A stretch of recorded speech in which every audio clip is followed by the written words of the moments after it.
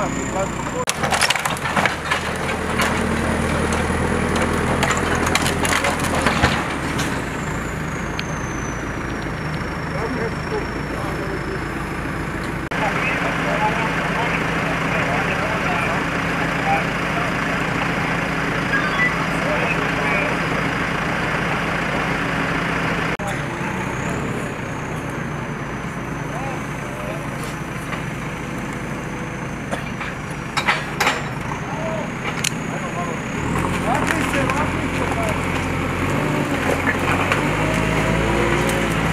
mora još malo stroj pa ćemo onda opet mišati.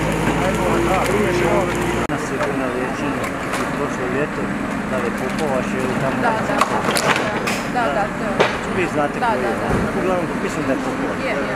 I pet mjeseci ovako je tamo bio, vratio se nazad.